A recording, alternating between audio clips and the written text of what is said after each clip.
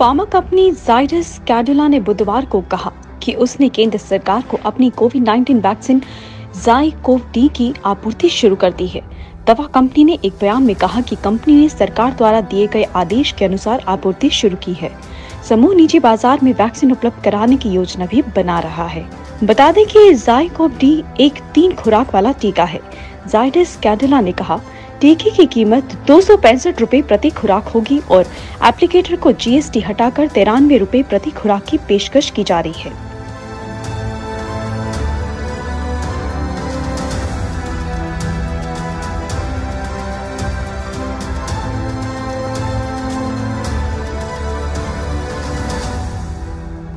अहमदाबाद स्थित दवा निर्माता ने जाइकोव टी की पारंपरिक रूप से सहमत खुराक का उत्पादन करने के लिए अनुबंध निर्माण कंपनी शिल्पा मेडिकेयर लिमिटेड के साथ एक निश्चित समझौता किया है। जाइडस कैडिला ने कहा, इसने प्लास्मेंट डीएनए वैक्सीन के लिए निर्माण लाइसेंस और प्रौद्योगिकी हस्तांतरण के लिए कोरिया के एंजाइम लाइफ साइंसेज के साथ भी एक समझौता किया है।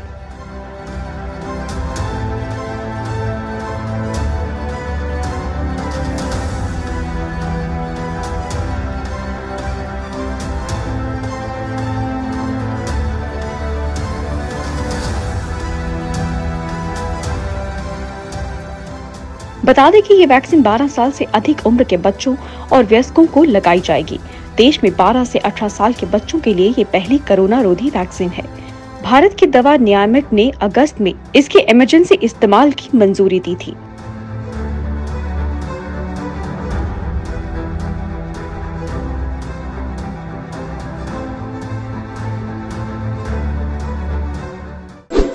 you.